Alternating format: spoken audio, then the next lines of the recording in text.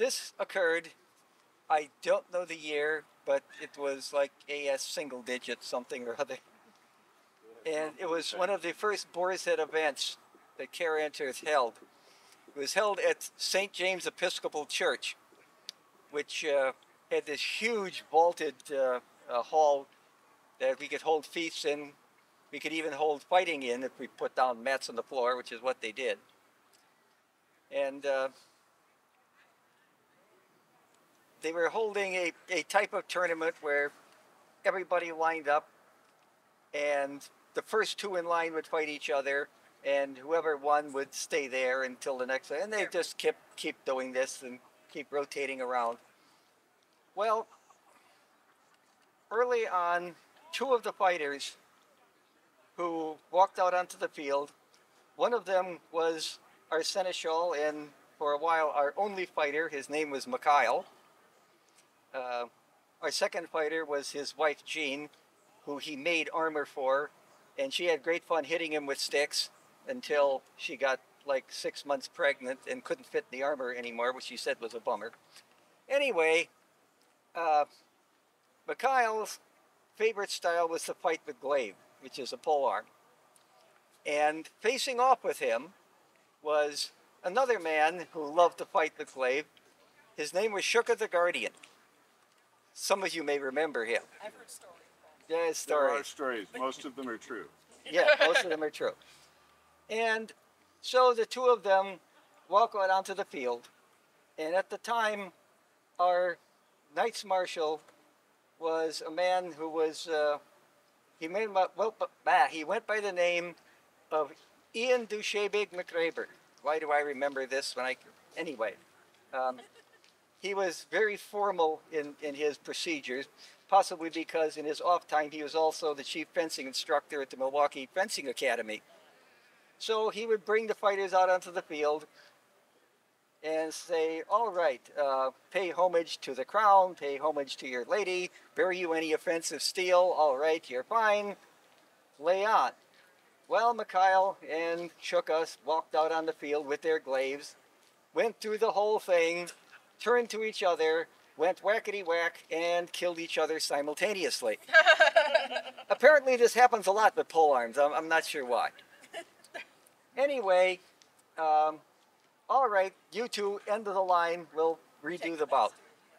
Now, Shuka, uh, which I believe is an old uh, Norse Viking name, which means very silly man, went back to his armor bag where he had, among other things, a dummy hand grenade, which he tucked inside of his breastplate, waited until he and Mikhail walked out onto the field, and um, Ian says, Bear you any offensive steel? And Mikhail shakes her head, and Shuka looks puzzled for a moment, reaches into his armor, pulls out the hand grenade, hands it to the marshal. And Ian looks at it and goes, I see. Anything else? No, you sure? Uh, all right. All right, you two, lay on.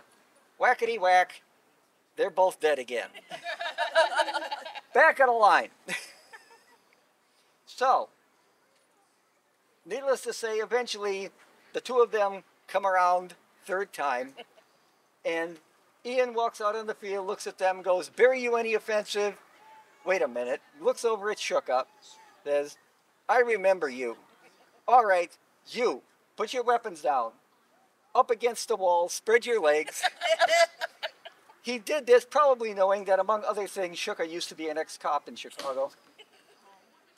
So he proceeds to start patting him down, satisfies himself, and then Shuka points over at Mikhail and goes, What about him? And Ian goes, You're right, you. Up, up against the wall, spread your legs. proceeds to do the pat down. Now the two of them walk out on the field. Mikhail and Shuka look at each other, and virtually without a word, they walk over, they grab the marshal, put him up against the wall, and proceed to pat him down.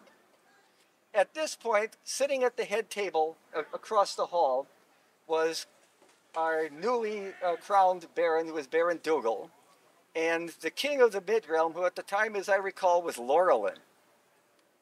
That takes you back a ways, doesn't it?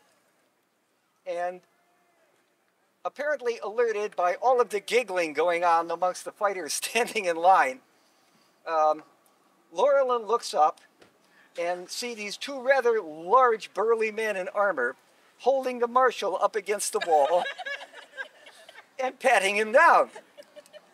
And Laurelin turns to Baron Dougal and says, um, Your Grace, I am a, a visitor to your kingdom here, and as such, I am not necessarily familiar with all of your local customs. Could you possibly tell me what are they doing?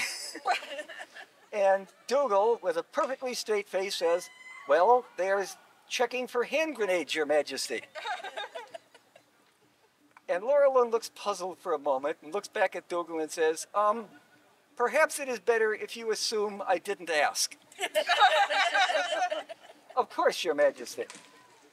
Now, I don't remember who actually won that bout, but that was, and still is to this day, the now infamous Caer Anterth hand grenade story.